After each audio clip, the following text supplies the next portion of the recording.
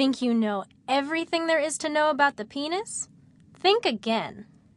No matter your gender, you'll be surprised to hear these five shocking facts about the male genitals.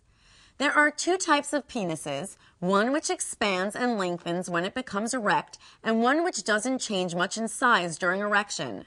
Fast fact number two. Surveys say that 79% of men have the former type, while 21% have members that remain more or less the same size at all times.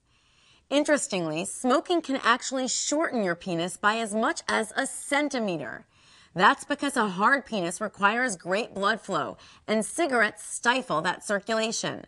No matter the size of the member, however, the average male orgasm lasts six seconds. Meanwhile, the average intercourse session lasts just three to seven minutes. There you go. Five things you didn't know about your or his magnificent member. If you're looking for more, check out the other videos in this series. If you thought that clip was interesting, check out all of our videos only at sexhealthguru.com.